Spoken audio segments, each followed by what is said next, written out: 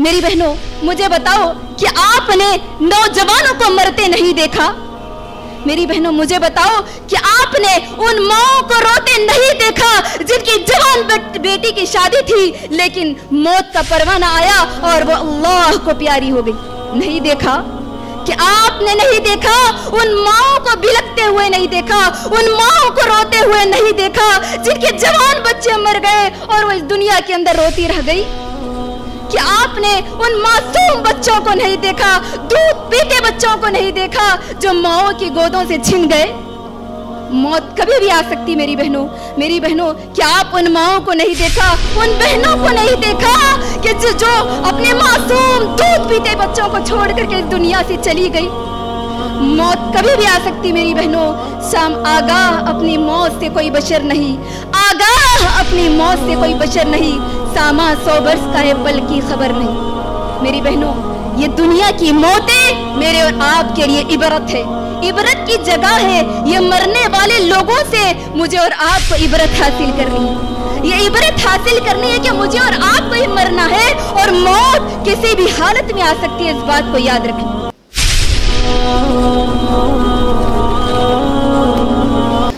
हमारे इस प्रोग्राम की अहम मुखरिरा, आईईसी के शोबे खातन की ज़िम्मेदार मोहतरमा यास्मीन मुफलियाती साहिबा को दावत देती हूँ आहलन व सहलन।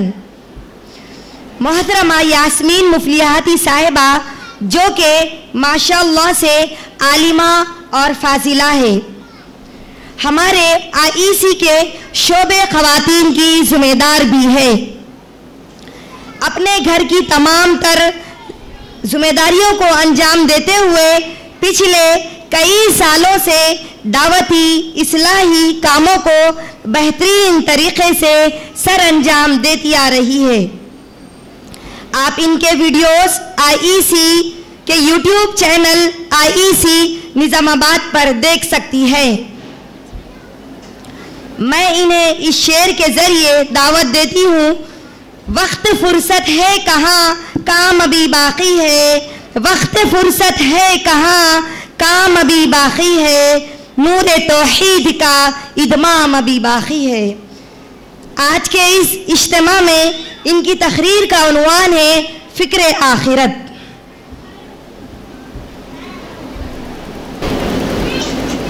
अस्सलामु अलैकुम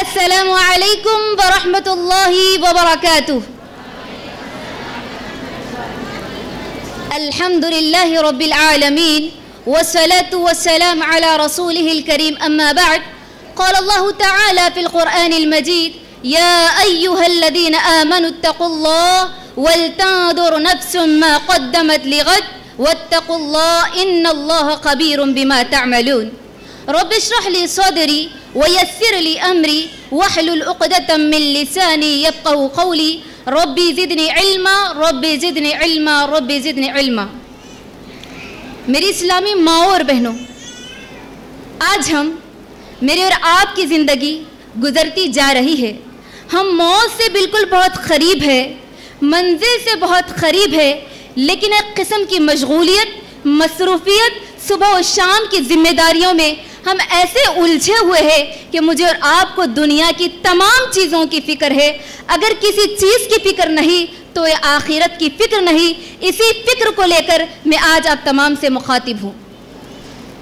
मेरे इस्लामी माँ और बहनों, मुझे ज़रा बताइए, आज हम में से आज यहाँ जितने बैठे हैं, आज हमारी ख़वातीन हम में से कितने मुसलमान हैं? इस कुरान को मानने वाले कितने लोग मुसलमान हैं? बोलो। कितने मुसलमान हैं? बोलो। सब मुसलमान हैं माशाअल्लाह अल्हम्दुलिल्लाह। इस बात में कोई शक नहीं कि हम सब मुसलमान हैं। लेकिन मेरी बहनों, याद रखना, मैं और आप उस वक्त तक मुसलमान हो ही नहीं सकते जब तक कि आखिरत के दिन पर ईमान न लाए। इस बात पर ईमान नहीं लाए, जो इस बात पर ईमान नहीं रखता कि आखिरत का दिन है तो ईमान वाला हो ही नहीं सकता। इसीलिए अल्लाह अल्लाह के नबी सल्लल्लाहु अलैहि वसल्लम से एक लंबी तवील हदीस है, जिब्राइल अलैहिस्सलाम आकर पूछते हैं अल्लाह के नबी से, अकबिरनी अनिल ईमान? मुझे ईमान के बारे में बताइए अल्लाह के नबी सल्लल्लाहु अलैहि वसल्लम। तो अल्लाह के नबी कहते हैं, ईमान यह है कि तुम अल्लाह पर ईमान लाओ, उसके फरिश्तों पर ईमान लाओ, उसके रसूलों पर ईमान लाना, उसकी किताबों पर ईमान लाना और आखिरत के दिन पर ईमान लाना। तो क्या मतलब? जब तक हम आखिरत के दिन पर ईमान नहीं रखते, एक ऐसा दिन है जो इस ज़िंदगी के बाद है, जो इस ज़िंदगी के खत्म होने के बाद मुझे और आपको उस ज़िंदगी में जाना है। जब तक आप उस दिन पर यकीन नहीं रखते, जब तक आपका ईमान मुकम्मल नहीं हो सकता। याद रखना इस बात। मेरी बहनों, मेरे और आपकी ज़िंदगी खत्म होने के बाद जो सबसे पहली चीज़ मुझे और आपको फेस करनी है, वो कौन सी चीज़ है? बोलो। मौत। मौत के बाद से लेकर के कब्र के सवालात है। तमाम चीज़ें क़ियामत के मनाजिर है। जन्नत और जहन्नम में फैसला होने तक के तमाम चीज़ें ये आखिरत है। ये तमाम चीज़ें क्या है बोलो? आखिरत है। मौत से लेकर के खबर के हालात से लेकर के क़ियामत के मनाजिर है। हिसाब किताब है। अल्लाह तबारक का फैसला, जन्नत और जहन्नम, ये तमाम चीज़ें क्या है बोलो? आखिरत है, क्या है? आखिरत है। मेरी बहनों, लेकिन अल्लाह तबारक ताला इस आखिरत के बारे में सूर्य हश आयत नंबर अठारह में इरशाद फरमाता है, या आमनुत्तकुल्लाह ईमान वालो। अल्लाह तबारक ताला यहाँ पर ईमान वालों को पुकार कर कहता है, या अय्युहल्लदीन आमनु ईमान वालो। या अय्युहल्लदीन आमनुत्तकुल्लाह ए ईमान वालो, अल्लाह से डरो। वलतादुर नफ्सुम्मा कद्दमत लिगद। और तुम में से चाहिए कि इंसान को देखे उसने कल के लिए क्या छोड़ा है। देखे कि कल के लिए क्या छोड़ा। वत्तकुल्लाह और अल्लाह से डरो। इन अल्लाह खबीर बिमा तामलून अल्लाह तबारक ताला इस आयत में किस कल के फ़िक्र की बात कर रहा है? बोलो। कौन से कल की फ़िक्र की बात कर रहा है? अल्लाह तबारक कल के खाने पीने के बारे में बात कर रहा है, कल के सामान के बारे में बात कर रहा है, कल की ज़िंदगी के बारे में बात कर रहा है। किस कल की फ़िक्र के बारे में अल्लाह मुझसे और आपसे अब तवज्जा दिलाना चाहते हैं? कौन सा कल है वो? बोलो। आखिरत की फ़िक्र की तरफ़ तवज्जा दिलाना है, दिलाता है अल्लाह तबारक के। ए ईमान वालो, तुम में से चाहिए कि हर शख्स को कल की फ़िक्र करे, कल की फ़िक्र करे। मेरी बहनों लेकिन मेरे और आपका हाल यह है कि आज हम ज़िंदगी की इतनी फ़िक्र में डूबते चले गए कि मुझे और आपको असल ज़िंदगी की फ़िक्र नहीं। असल जो ज़िंदगी है, उसकी फ़िक्र नहीं। आज हमने असल फ़िक्र ये समझा, हमारा खाना पीना, ऐशो आराम। ज़िंदगी की मुश्किलात, ज़िंदगी की मुसीबतें, ज़िंदगी की परेशानियाँ, सुबह और शाम की जिम्मेदारियाँ, इसको असल फ़िक्र समझा। इसको असल फ़िक्र समझा, लेकिन असल फ़िक्र ये नहीं। असल फ़िक्र तो कुछ और है। असल मंजिल तो कुछ और है। असल मंजिल तो कुछ और है। असल टारगेट तो कुछ और है, जिसके लिए अल्लाह तबारक ताला ने मुझे आपको पैदा किया, मुझे आपको इस दुनिया में भेजा। मेरी बहनों, आज हम बोलते ना, बुरा वक्त गुजर जाता टेंशन मत लो, बुरा वक्त गुजर जाता। हाँ बिल्कुल, ये अच्छा वक्त भी गुजर जाएगा और बुरा वक्त भी गुजर जाएगा, याद रखना। लेकिन जो ज़िंदगी गुजरने वाली नहीं, जिस ज़िंदगी में कभी मौत आने वाली नहीं, उस ज़िंदगी की फ़िक्र के लिए अल्लाह ने मुझे और आपको भेजा। मेरी बहनों, मुझे बताओ, इस दुनिया के अंदर मेरे और आपकी उम्र कितनी है? कितनी मिनिमम उम्र कितनी रहती, बोलो? पचास साल, साठ साल, सत्तर साल, उससे बढ़कर तो कोई तस्वुर ही नहीं कर सकता लेकिन याद रखो जो ज़िंदगी है, उसकी उम्र न साठ होगी, न सत्तर होगी, न सौ होगी, न दो सौ होगी, न तीन सौ होगी, न लाखों साल होगी, बल्कि कितनी होगी? हमेशा हमेश की ज़िंदगी होगी, जिसमें कभी मौत नहीं आएगी। अल्लाह अकबर। जो ज़िंदगी में कभी मौत नहीं आएगी, अगर उस ज़िंदगी के अंदर जन्नत हमारा फैसला हो जाए तो अल्लाह अकबर, जिसमें ऐशो आराम ही आराम, राहत ही राहत, ऐसी राहत जिसके बारे में कभी आपकी आँखों ने नहीं देखा, जिस राहत के बारे में कभी आपकी कानों ने ही सुना, लेकिन याद रखना, जिसका फैसला जहन्नम हो जाए, जिसके हक में जहन्नम का फैसला हो जाए, अल्लाह अकबर। अल्लाह तबारक ताला सूरह दुखान में इरशाद फरमाता है इन शजरत जक्कूम तआमुल असीम, कल मोहली यगली फिल बुतून, जहन्नमी कल रो रो के तड़पेंगे, भूख की शिद्दत से बिल बिलाएँगे अल्लाह से कहेंगे कि अल्लाह, खाने को दे दे, कुछ खाने को दे दे। तो अल्लाह अकबर इन शजरत जक्कूम, उनको कांटे भरे दरख्त दिए जाएँगे। क्या दिए जाएँगे खाने को, बोलो? कांटेदार दरख्त दिए जाएँगे और जहन्नमी कहेंगे कि अल्लाह, खाने को तो कांटेदार दरख्त, ये धस नहीं रहा है मुँह के अंदर। आज अच्छी अच्छी नियामतें हमको खाई नहीं जाती ना। अच्छी अच्छी नियामतें हमको खाने के लिए नाशुक्री करते। कल जहन्नमी कहेंगे कि अल्लाह, प्यास लगी है, पानी को दे दे। गरम गरम खोलता हुआ पानी दिया जाएगा। अल्लाह अकबर। मेरी बहनों, ज़िंदगी की फ़िक्र करो, उस आखिरत की फ़िक्र करो। अल्लाह तबारक ताला ने जिस आखिरत के लिए मुझे और आपको भेजा, मेरी बहनों, आप बताओ, इस आखिरत की फ़िक्र कैसे करनी है? किस अंदाज में करना है कि हम दुनिया को भूल जाए? दुनिया को भूल जाए? दुनिया की जिम्मेदारियों को भूल जाए? सिर्फ़ अल्लाह अल्लाह अल्लाह पढ़ते हुए बैठे? हम अपनी सेहत बनाना भूल जाए? हम अपनी ज़िंदगी की फ़िक्र करना भूल जाए? जिम्मेदारियों को भूल जाए? क्या करे फिर? आखिरत की फ़िक्र कैसे करे? बोलो। एक उसूल याद रखे। एक टारगेट याद रखे, एक ज़िंदगी का बेहतरीन नुस्खा याद रखे, वो ये कि मुझे और आपको इस दुनिया में रहना है, ज़िंदगी गुजारना है। अल्लाह और उसके रसूल के मुताबिक गुजारनी है, लेकिन मकसद हमेशा आखिरत की तरफ़ होना है। हमेशा टारगेट आखिरत की तरफ़ होना है कि वो ज़िंदगी, जो ज़िंदगी कभी खत्म होने वाली नहीं, उसकी फ़िक्र करना है। तो एक उसूल याद रखें कि ज़िंदगी की तमाम चीज़ों को, ज़िंदगी की तमाम जिम्मेदारियों को, ज़िंदगी की तमाम वाजिबात को पूरी करना है। लेकिन मकसद ये होना चाहिए कि आखिरत मकसद हो। आखिरत मकसद हो, ये याद रखना चाहिए। लेकिन मेरी बहनों इस दुनिया के पीछे ना पड़े, इस दुनिया की रंगीनियों के पीछे ना पड़े। क्यों? क्योंकि ये दुनिया धोखे का सामान है। ये दुनिया धोखे का सामान है। इसीलिए कि इस दुनिया की हकीकत ये है, अल्लाह के नबी सल्लल्लाहु अलैहि वसल्लम ने बहुत हकीर चीज़ कहा। मेरे और आपके नज़दीक मच्छर की मच्छर की कोई हैसियत है? मच्छर की कोई वैल्यू है मेरे और आपके नज़दीक? बोलो। मच्छर की कोई वैल्यू है? बोलो। है? अल्लाह के नबी कहते हैं, इस दुनिया की मिसाल लौकानत दुनिया तअदिल इंदल्लाहि जनाह बाऊज़तिन, मा सका काफिरन मिनहा शुरबत माइन। अगर अल्लाह के नज़दीक इस दुनिया की मिसाल एक मच्छर के पर के बराबर भी होती तो अल्लाह किसी काफिर को एक घूट पानी भी ना पिलाता। तो क्या मतलब क्या हुआ बोलो?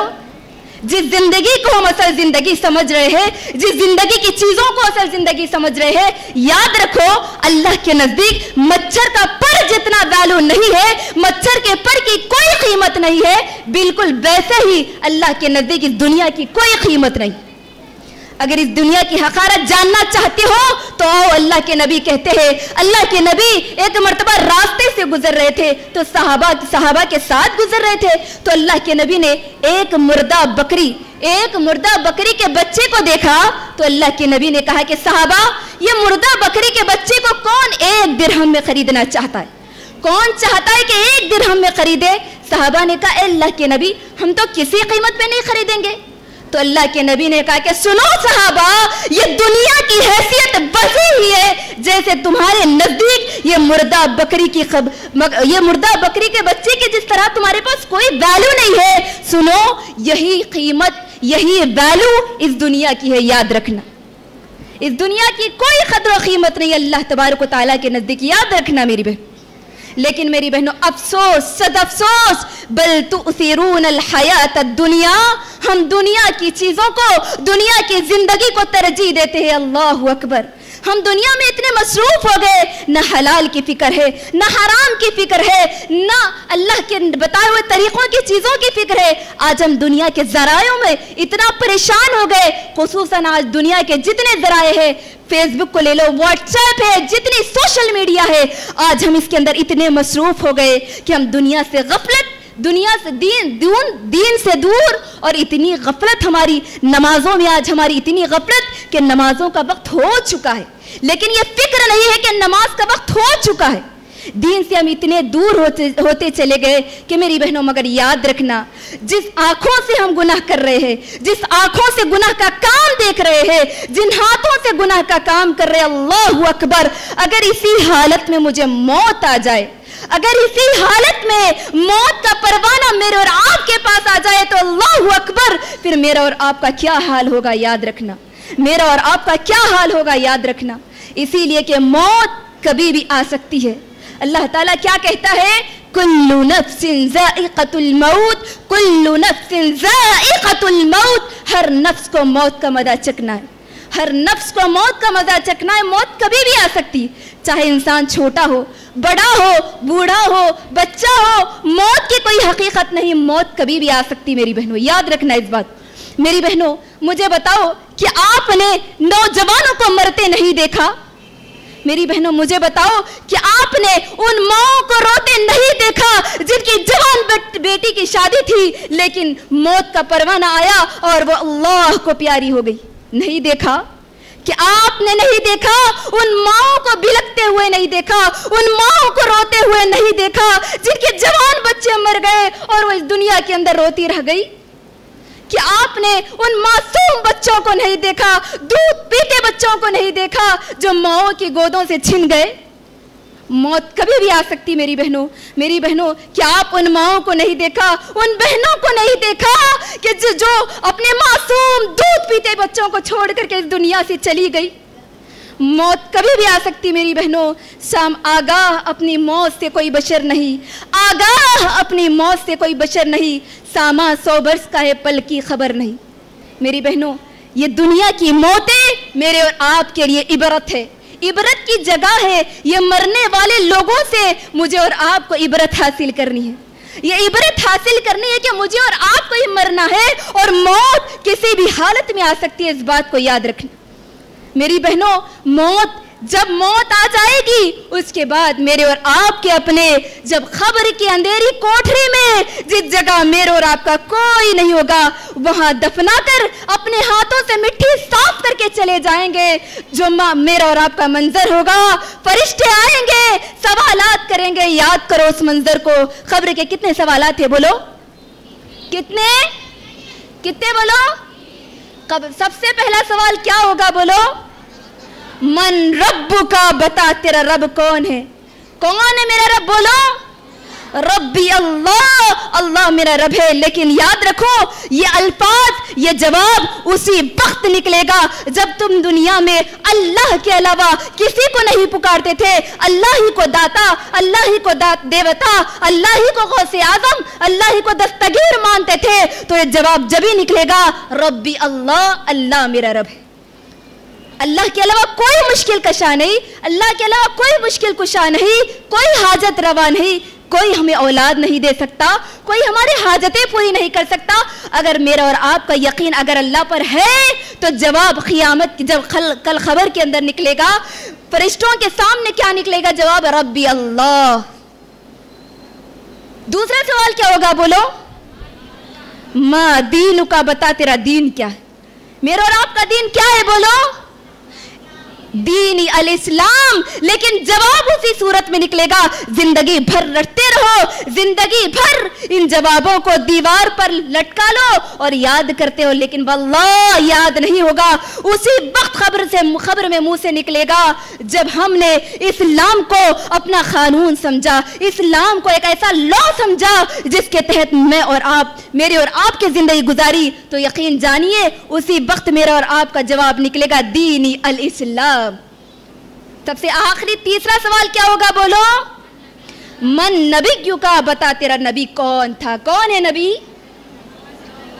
मोहम्मद सल्लल्लाहु अलैहि वसल्लम। लेकिन जवाब उसी वक्त निकलेगा, जब हमने नबी को उसवा बनाया, नबी को आइडियल बनाया, आज हमारी शादियाँ नबी के तरीके के मुताबिक नहीं, रसूमात हमारी ऐसे गैर शरी रसूमात जिसके अंदर बेपर्दगी, बेहयाई, न जाने कितनी चीज़ें गैर शरई तौर पर नबी सल्लल्लाहु अलैहि वसल्लम के तरीके के खिलाफ हो रही है। लेकिन याद रखो, अगर हमने ऐसी ज़िंदगी गुजार कर कल खबर में पहुँच गए और कल खबर में सवाल होगा कि मन नबी यू का तेरा नबी कौन है? तो जवाब नहीं दे पाओगे मोहम्मद रसूलुल्लाह। मेरी बहनों, इन सवालात की तैयारी करना है। कब करना है बोलो? मौत आने से पहले पहले करना है। इसीलिए कि मौत आ गई तो कोई चांस नहीं। लेकिन जो सवालात के जवाब सही देगा अपनी अमली अपनी जिंद, अमली ज़िंदगी के मुताबिक देगा। अल्लाह अकबर उसके लिए तो ऐश आराम है। जन्नत की खिड़की उसके लिए खोल दी जाएगी। लेकिन याद रखो जो जवाब नहीं देगा जिसने अपनी ज़िंदगी रब्बी अल्लाह के मुताबिक नहीं गुजारी जिसने अपनी ज़िंदगी दीन इस्लाम के मुताबिक नहीं गुजारी इस्लाम के खिलाफ गुजारी और अल्लाह के नबी के बताए हुए तरीके पर नहीं गुजारी तो याद रखना, उसका जवाब होगा, हा हा, ला अदरी, अल्लाह मैं तो नहीं जानता। हाँ हाँ में नहीं जानता। तो उसके साथ ऐसा सुलूक होगा कि जहन्नम की खिड़की उसके लिए खोल दी जाएगी और एक ऐसा फरिश्ता मुसल्लत कर दिया जाएगा, जो अंधा होगा, जो बहरा होगा, उसको मारता जाएगा मारता जाएगा। अल्लाह अकबर, उसके चीखने की आवाज़ को दुनिया की तमाम मखलूक सुनेगी, सिवाय इंसान और जान, सिवाय इंसान और जिन की। याद रखना। मेरी बहनों, ये खबर का मंजर है। लेकिन याद रखो, ये खबर के मंजर से बढ़कर कल क़ियामत का मंजर होगा। अल्लाह अकबर। इसीलिए अल्लाह ताला सूर्य अंबिया में इरशाद फरमाता है हिसाबुहुम वहुम मुरिदून लोगो, तुम्हारे हिसाब का वक्त करीब आ चुका है, करीब आ चुका है, लेकिन फिर भी तुम गफलत में हो। हमारे हिसाब का हिसाब और किताब का वक्त करीब आ चुका है। लेकिन गफलत में है, मेरी बहनों उस क़ियामत के मंजर को याद करो। जिस दिन सूरज एक मील के फासिले पर होगा, आज गर्मी की वजह से एसी का इंतज़ाम है हमारे घरों में। ठंडे कूलर्स का इंतज़ाम है हमारी नज़रों के सामने। ठंडे पानी का इंतज़ाम है हमारे लिए। लेकिन बताओ, कल की गर्मी के लिए, कल की शिद्दत के लिए आखिरत के दिन का कोई इंतज़ाम है? कोई इंतज़ाम है? अल्लाह अकबर वो दिन होगा कि सूरज एक मील के फासले पर होगा।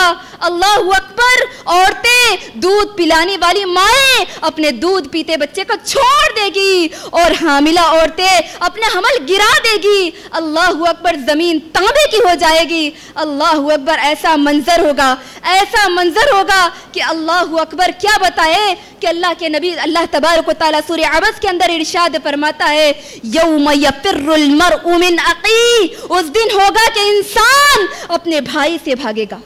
कौन भागता है? अपने भाई बहनों से कितनी मोहब्बत करता है इंसान? लेकिन उस दिन होगा कि इंसान, यौम यफिरुल अकी अपने भाई से भागेगा। वो उम्मी बाबी अपनी माँ से भागेगी।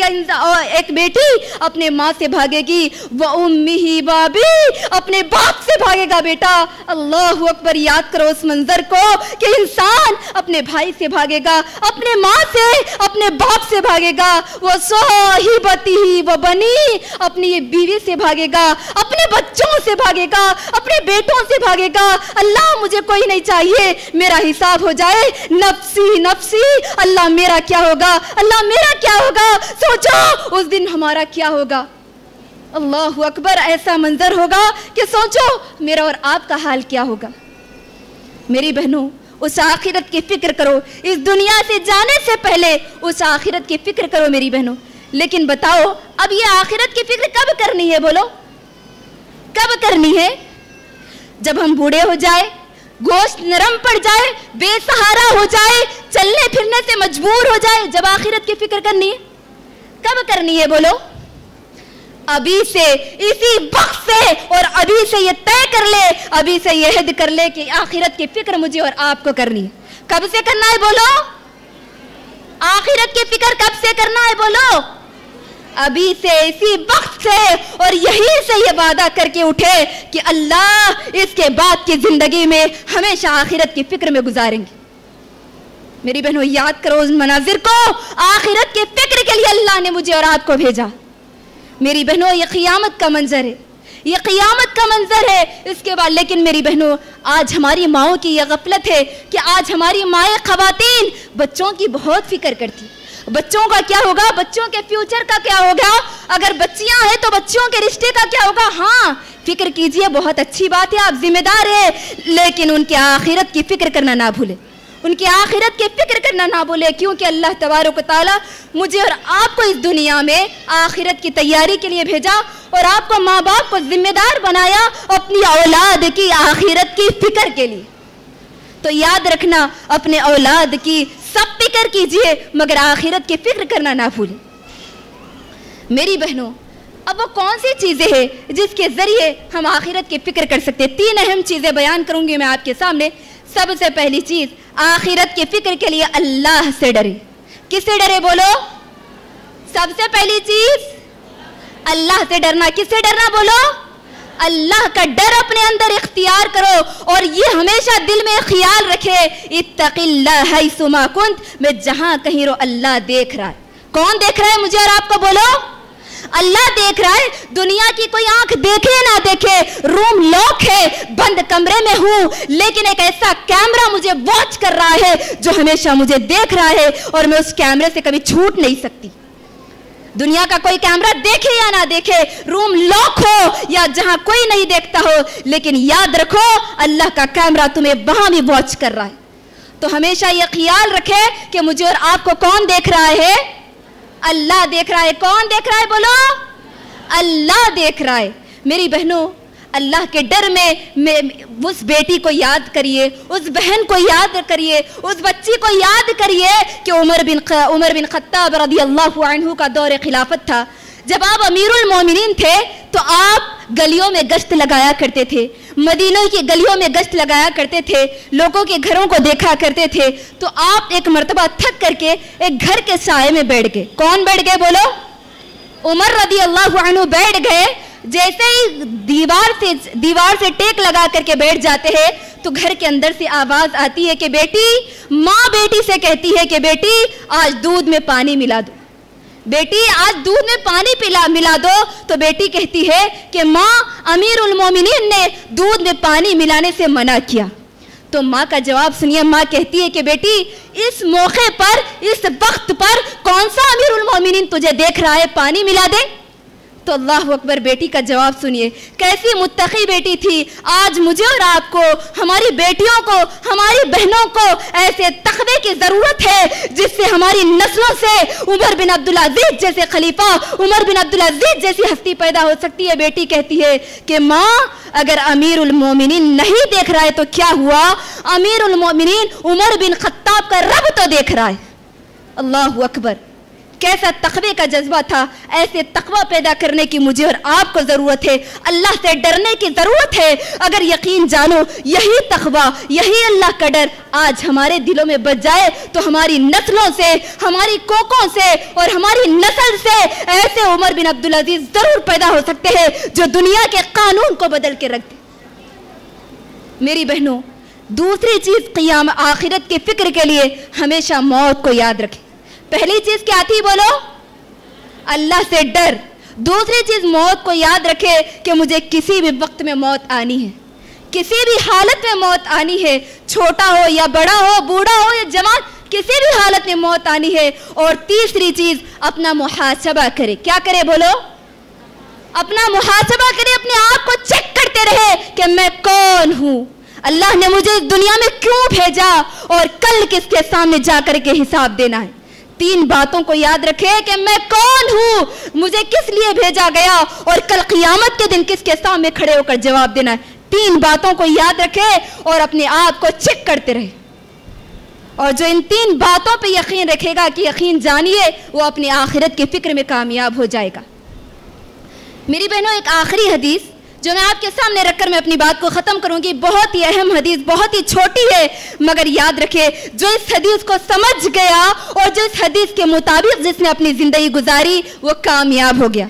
अल्लाह के नबी सल्लल्लाहु अलैहि वसल्लम फरमाते हैं कि जिसका टारगेट, जिसका मकसद दीन, फ़िक्र आखिरत बन जाए आखिरत की फ़िक्र बन जाए तो तीन आसानियाँ उसकी ज़िंदगी में है। जिसका टारगेट जिसका मकसद आखिरत बन जाए, उसके लिए तीन आसानियाँ। पहली आसानी यह है कि अल्लाह तबारक ताला उसके दिल को बेनियाज कर देता है। दुनिया से उसको बेनियाज कर देता है, और उसको दुनिया की टेंशन ही नहीं रहती कि वो जो कुछ भी करता है, वो सुकून की ज़िंदगी गुजारता है। दूसरी आसानी यह है कि अल्लाह उसके उलझनों को खत्म कर देता है। जिसकी फ़िक्र आखिरत होती है, अल्लाह उसके उलझनों को खत्म कर देता है, उसके प्रॉब्लम्स को सॉल्व कर देता है, उसकी मुसीबत, उसकी मुसीबतों को अपने जिम्मे ले लेता है। और तीसरा, तीसरी आसानी यह है कि अल्लाह तबारक ताला जो फ़िक्र आखिरत, यानी आखिरत की फ़िक्र करता है तो दुनिया उसके पास चल कर आती है। वो दुनिया के पीछे नहीं भागता, बल्कि दुनिया उसके लिए चल के आती और याद रखना, जिसकी फ़िक्र आखिरत नहीं, जिसका टारगेट आखिरत नहीं, दुनिया है तो याद रखना, अल्लाह उसकी ज़िंदगी में फख्र फाका हमेशा तंग कर देता है। वो चाहे जितना भी कमा ले जितना भी ऐशो आराम की ज़िंदगी गुजार ले, लेकिन उसकी ज़िंदगी में सुकून नहीं रहता, जो आखिरत की फ़िक्र नहीं करता। और उसकी ज़िंदगी में दुनिया उतनी ही उतनी ही रहेगी, जितना कि उसके मुकद्दर में लिख दी गई। इस हदीस को याद रखें मेरी बहनों इन्हीं बातों पर मैं अपने इस मौजू को ख़त्म करते हुए अल्लाह से दुआ करती हूँ कि आलमीन, हम तमाम माओ, बहनों, बेटियों के दिलों के अंदर आखिरत की फ़िक्र को पैदा कर दे और कल क़ियामत के दिन ख़ब्र के सवालत और ख़ब्र के हालात जितने भी अल्लाह उसमें हमारे लिए आसानी पैदा फरमा दे और अल्लाह क़ियामत के मनाजिर जितने भी है महशर के हालात जितने भी है, वो तमाम के तमाम मेरे और आपके लिए हम तमाम के लिए आसान कर दे आलमीन, हम तमाम के मसाइल को, दुनियावी मसाइल को, परेशानियों को, मुसीबतों को हल कर दे, हमसे ख़त्म कर दे। रब्बना आतिना फिद दुनिया हसना, व फिल आखिरती हसना वक़िना अदाबन्नार व आखिर दावाना अनिलहमदिल्ला रब्बिल आलमीन। अस्सलामु अलैकुम